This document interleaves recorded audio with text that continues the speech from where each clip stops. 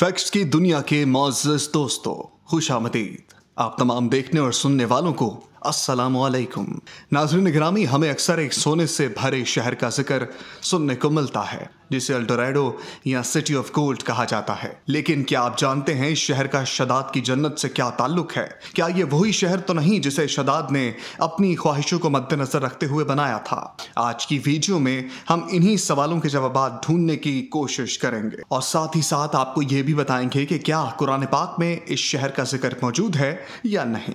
दोस्तों कौम में दो भाई थे, जिनमें से एक का नाम शदैद था, जो बड़ा था, जबकि दूसरे का नाम शद्दाद था, जो इसके बाद तख्त नशीन हुआ। ये दोनों वसी इलाके पर काबिज थे और बेशुमार लश्कर और ख़जाने उन्होंने जमा कर लिए। इस दौर में किसी बादशाह में इतनी जुर्रत और ताकत नहीं थी कि इनका मुकाबला कर सकें। इस तसल्लुत और गलबे ने ख़ास तौर पर शद्दाद को इतना मकरूर और मुतकबर कर दिया था कि इसी ने खुदाई का दावा कर दिया। इस वक्त उलमा और सालहीन ने जो सबका अम्बिया के ूम के वारिस थे, इसे समझाया और अल्लाह के अजाब से डराया। तो वो कहने लगा कि जो हुकूमत और दौलत और इज़्ज़त इसको अब हासिल है, इससे ज़्यादा अल्लाह ताला की इबादत करने से क्या हासिल होगा? जिस पर समझाने वालों ने यह भी कहा यह हुकूमत और दौलत एक फ़ानी चीज़ है, जबकि अल्लाह की अतात में आखिरी निजात और जन्नत का उसूल है, जो दुनिया की हर दौलत से बेहतर और ज़्यादा कीमती है। इसने पूछा, ये जन्नत कैसी होती है? इसकी तारीफ़ और खूबी बताओ। नसीहत करने वालों ने जन्नत की वो सिफात जो अम्बिया कराम की तालीमत के ज़रिए उनको मालूम हुई थी, उससे सामने रखती है तो उसने कहा, मुझे इस जन्नत की ज़रूरत नहीं। ऐसी जन्नत तो मैं खुद ही दुनिया में बना सकता हूँ। लिहाजा तमाम आलमों को दिखाने की खातर शद्दाद ने अपनी जन्नत बनाने का फैसला किया। सबसे पहले उसने अपने मोतबर सरदारों में से सौ आदमियों का इंतखब करके उन्हें जन्नत बनाने के लिए निगरान मुकर किया और हर एक सरदार के साथ हज़ार हज़ार आदमी मुतन किए। इसके बाद ज़मीन में दफन तमाम ख़जाने निकलवाए गए और सोना, चांदी निकलवा कर इनकी गंगा, जमनी, ईंटें तैयार करवाई गईं। और कोहे अदन से मोतसल एक शहर मुरबा की शक्ल में दस कॉस लंबा, दस कॉस चौड़ा और चालीस कॉस ऊँचा मुकाम बनाने का हुक्म दिया गया। इस शहर की बुनियादें इस कदर खोद दी गईं कि पानी के करीब जा पहुँची और फिर इन बुनियादों को संग सलेमानी से भरवाया गया। जब बुनियादें ज़मीन के बराबर हो गईं तो इस पर सोने और अशफियों की ईंटों से दीवारें चुननी शुरू कर दी गईं। इन दीवारों की बुलंदी इस कदर ज़्यादा थी कि जब आफ्ताब तुलू होता था तो इसकी चमक से दीवारों की रोशनी पर निगाह नहीं ठहरती थी।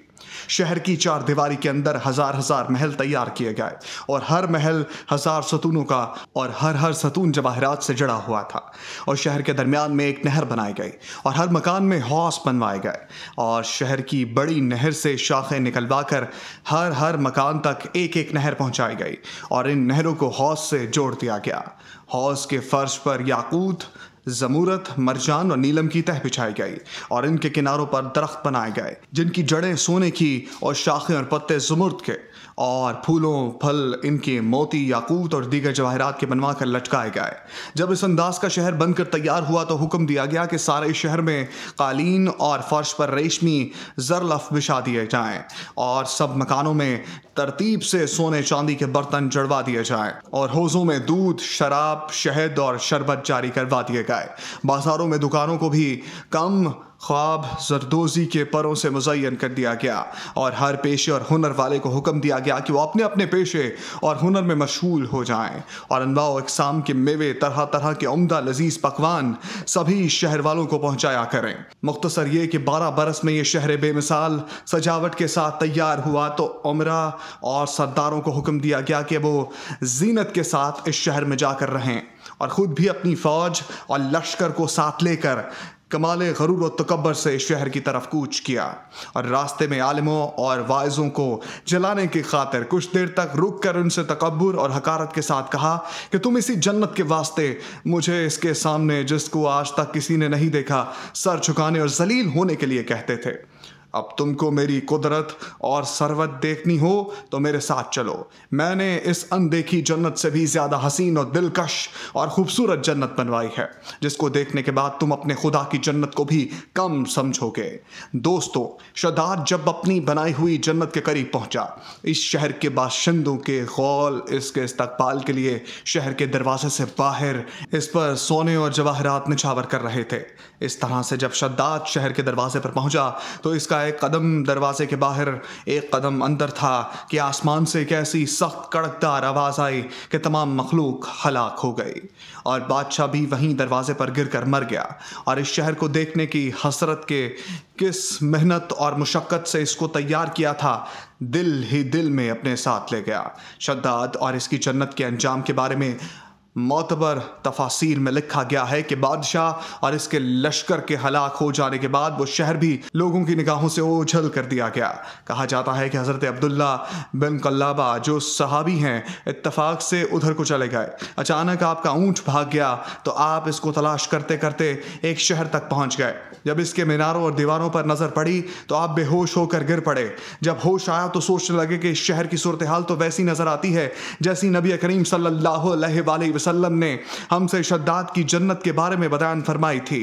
ये मैं ख्वाब देख रहा हूँ या इसका किसी हकीकत से भी कोई ताल्लुक है। इसी कैफियत में उठकर वो शहर के अंदर आ गए। इसके अंदर नहरें और दरख्त भी जन्नत की तरह थे, लेकिन वहाँ कोई इंसान नहीं था। आप रज़ी अल्लाह तु ने वहाँ पड़े हुए कुछ जवाहरात उठाए और वापस चल दिए। वहाँ से वो सीधे इस वक्त के दारुल खलाफा दमिश्क में पहुँचे, जहाँ हज़रत अमीर माविया रज़ी अल्लाह तु मौजूद थे। वहाँ जो कुछ माजरा उनके साथ पेश आया था, उन्होंने बयान किया। हज़रत अमीर माविया ने उनसे पूछा, वो शहर आपने हालत बेदारी में देखा था कि ख्वाब में? हज़रत अब्दुल्ला ने बताया, मैं बिल्कुल बेदारी में था।